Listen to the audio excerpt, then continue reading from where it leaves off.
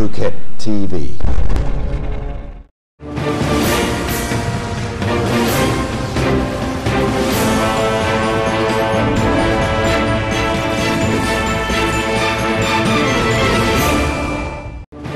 There's only one way to Patong. Supporting by To complete your visit to Phuket, why not enjoy a night's entertainment at Taipan, Patong Phuket, the entertainment complex.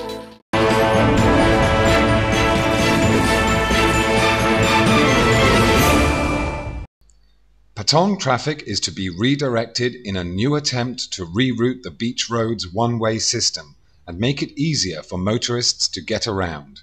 After trying out a number of variations of one-way routes in recent years, Patong authorities held a meeting on Tuesday to discuss a final solution which would allow unobstructed flow of traffic, without drivers having to switch lanes on some feeder roads.